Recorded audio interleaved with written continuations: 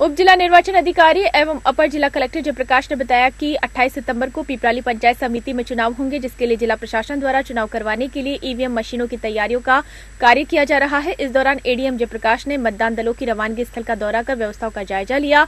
पीपराली पंचायत समिति के मतदान दलों की रवानगी एक दिन पहले यानी 27 सितंबर को 11 बजे एसके स्कूल ग्राउंड से की जाएगी। 28 सितंबर को प्रातः साढ़े सात बजे से साढ़े साढ़े पाँच बजे तक मतदान होगा। उनतीस सितंबर को उप सरपंच का चुनाव होगा।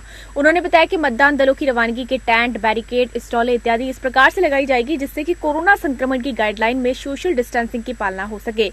उन्होंने बताया कि द्वितीय चरण में तीन अक्टूबर को दाता रामगढ़ पंचायत समिति के चुनाव होंगे। छह अक्टूबर को, दो दस अक्टूबर को फतेहपुर पंचायत समिति के चुनाव होंगे। साथ ही मतदान समाप्ति के तुरंत पश्चात संबंधित पंचायत मुख्यालय पर ही मतगणना शुरू हो जाएगी और अगले दिन उप सरपंच के चुनाव करवाए जाएँगे। एडीएम ने निर्वाचन मतदान कार्य में लगे सभी कार्मिकों को आदेशित किया है कि वे निर्वाचन कार्य को गंभीरता से लेते हुए कोरोना गाइडलाइन की पालना करते हुए सही समय पर नियुक्त ड्यूटी स्थल पर पहुँचे तथा अनावश्यक रूप से अनुपस्थित नहीं रहे। अगर कोई परेशानी हो तो सक्षम स्तर से अनुमति ले तथा कार्मिक अपने स्तर पर किसी भी प्रकार की कोई भी लापरवाही नहीं बरते। के लिए हमारा जो प्रथम चरण में पंचायत समिति पीपराली में इलेक्शन होने हैं 28 तारीख को मतदान का दिन तय है, जिसमें सुबह साढ़े सात से लेकर साढ़े पाँच तक मतदान होगा।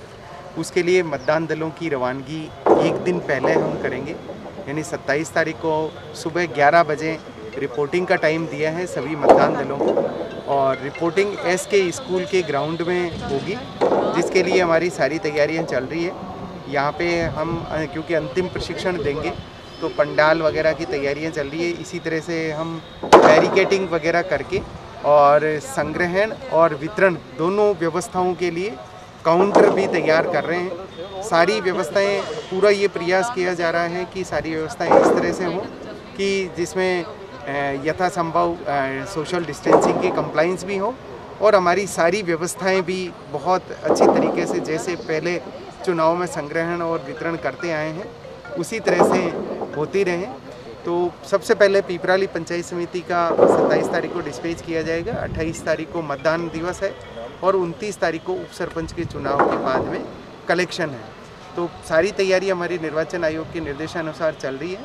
अभी दाता रामगढ़ पंचायत समिति के नॉमिनेशन का काम कल पूरा हो गया है और उसके बाद अब उनके लिए हम मतपत्रों की तैयारी कर रहे हैं और कल परसों से दाता रामगढ़ के लिए ईवीएम प्रिपरेशन का काम शुरू कर देंगे।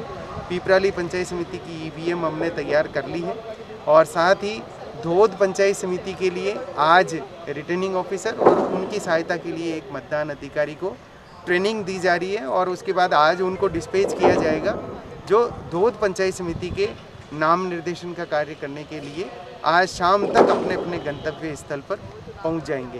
तो सभी तैयारियाँ अच्छे से की जा रही है। कल डिविजनल कमिश्नर साहब ने रिव्यू भी किया था। तो रिव्यू के अनुसार भी ज़िले की तैयारियाँ काफ़ी अच्छे से हैं और हम निर्वाचन आयोग के सारे निर्देशों की कंप्लाइंस बहुत अच्छे तरीके से करने का पूरा प्रयास करेंगे।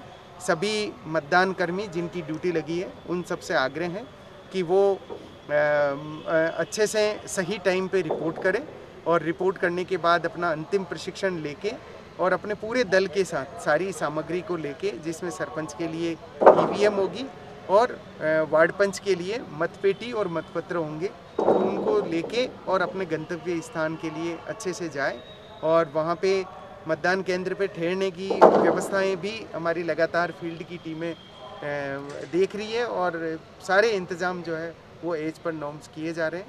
तो निश्चित रूप से हम प्रथम चरण के लिए बिल्कुल तैयार हैं ताकि हम हमारे मतदान दलों को बहुत अच्छे से डिस्पेच कर सकें।